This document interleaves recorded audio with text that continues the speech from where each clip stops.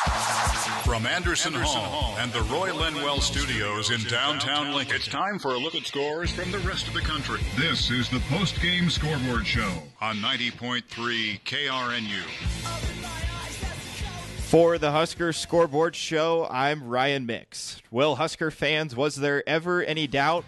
The comeback kids get their fourth come from behind win of the year, but Nebraska wasn't the only Big Ten school providing excitement this afternoon. Wisconsin has punched their ticket to Indianapolis as the Badgers clinched the Leaders Division title today with a big 62 14 win at Indiana. Wisconsin head coach Brett Bielema made a somewhat controversial decision to go with Curt Phillips as a starting quarterback today, but quite frankly, it didn't matter who was under center for the Badgers.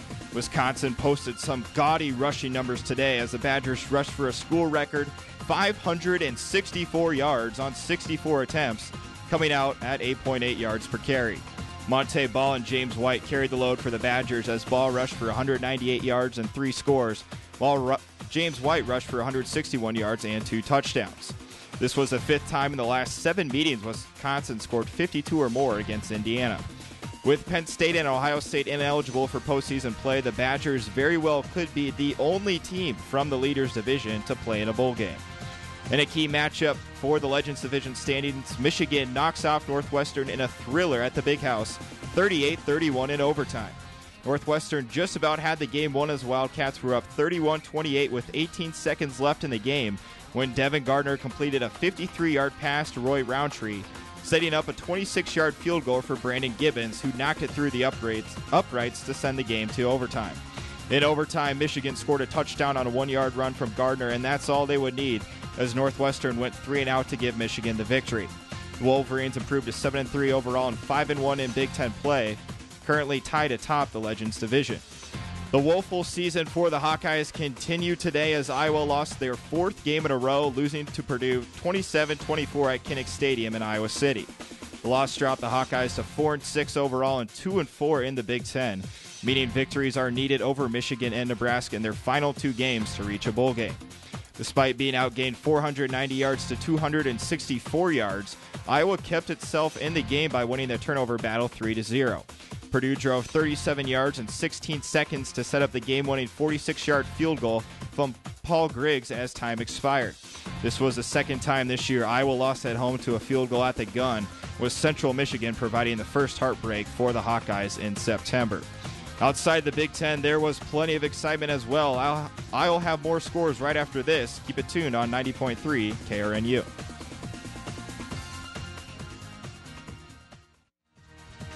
Welcome back to the Husker Scoreboard Show. Well, the sixth ranked Florida Gators sure gave their fans a scare today as they escaped the swamp with a narrow 27 20 victory over Louisiana Lafayette. Jelani Jenkins blocked a punt 36 yards for a touchdown with two seconds remaining to give the Gators a 27 20 win.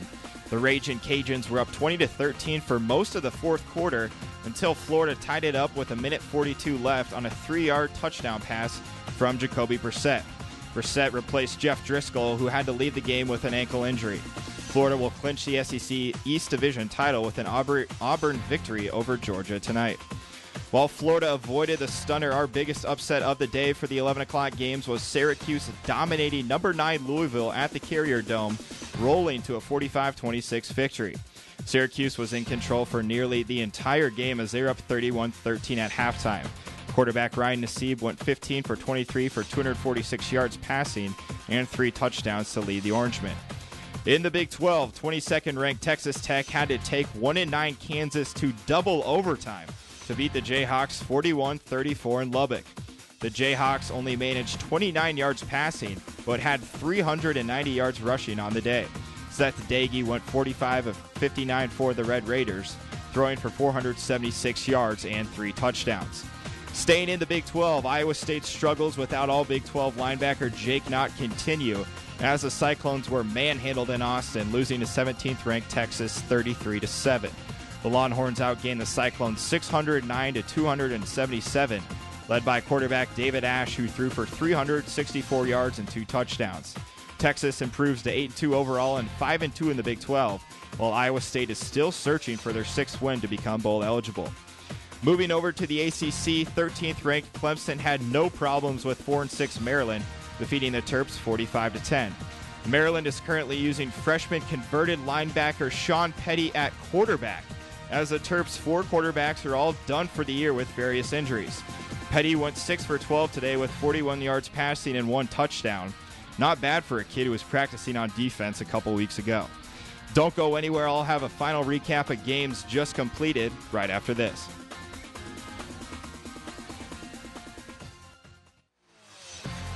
Welcome back. In the marquee game of the day, number 1 Alabama has been upset at home by 15th ranked Texas A&M. The Aggies just knocked off the Crimson Tide 29-24, led by freshman sensation quarterback Johnny Manziel, who had over 350 yards of total offense, and you can bet his name will be entered in the Heisman race. Johnny football and the Aggies provide the stunner of the day. Who saw this coming as Texas A&M knocks off the defending national champions sure to provide a huge shakeup in the BCS standings tomorrow night. And a key top 25 matchup between Pac 12 teams, number 14 Stanford takes down 11th ranked Oregon State 27 23. Stepfan Taylor had 19 carries for 114 yards rushing and one touchdown to lead the Cardinal. Also in the Pac 12, 19th ranked USC defeated Arizona State 38 17 in Los Angeles to keep their Rose Bowl hopes alive. Curtis McNeal had a big day for the Trojans, rushing for 163 yards and two touchdowns.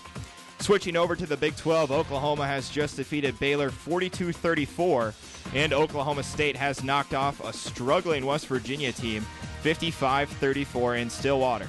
The Mountaineers dropped to 5 and 4 overall and 2 and 4 in the Big 12, while Oklahoma State improves to 6 and 3 overall and 4 and 2 in the Big 12. That's it for the Husker Scoreboard Show for this week. This is Ryan Mix. Stay tuned for the Husker Highlight Show coming up next on 90.3 KRNU.